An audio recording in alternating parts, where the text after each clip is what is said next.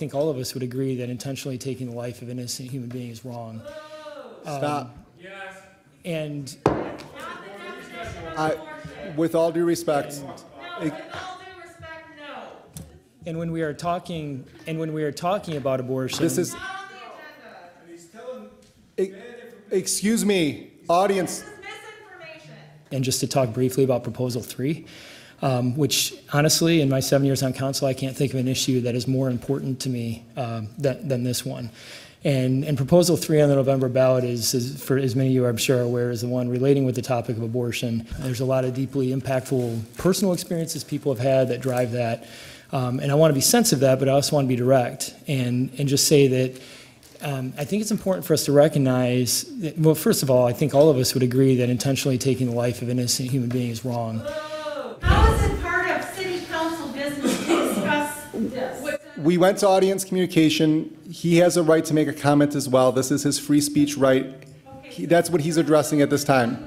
I'm not going to have this open forum at this point. This is not how we do business in the city. If you'd like to address this, we will have a study meeting that concludes, well, that starts after the conclusion of this meeting. I wanted to take uh, this opportunity that I have here to use this platform to, to share those things with voters because I think it's important for people to understand what it does. And even if we disagree about the extent to which abortion should be legal, I hope we can all agree that this particular proposal is too radical for Michigan, and I would urge my fellow citizens to join me in voting no, um, whether it's by absentee or in November.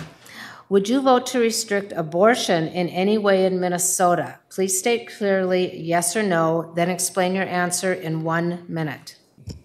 Okay. Abortion, po- sorry. You can repeat it one more time if you want. Uh, If this comes up, my abortion, I'm- I will vote.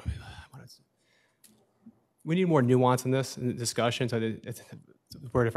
I would say yes, abortion policy, so I'm, I just, I just said yes.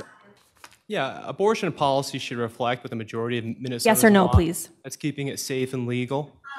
Yes or no? Yes or no, please? Sorry. Oh, so please clearly state yes or no, and then explain your answer in one minute. Yeah, so, okay. Abortion policy should be safe, legal, and we should ensure that there's limits on post-viability pr- pr- procedures.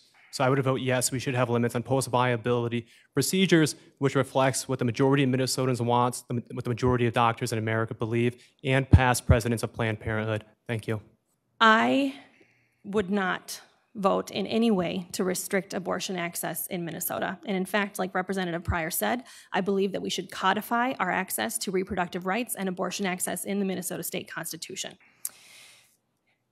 We are an island of reproductive access, rights access in the Midwest now. Every year that I've been in the legislature, my GOP colleagues have introduced anti choice legislation banning abortion at heartbeat, banning abortion flat out. Uh, it- It's, it's unbelievable.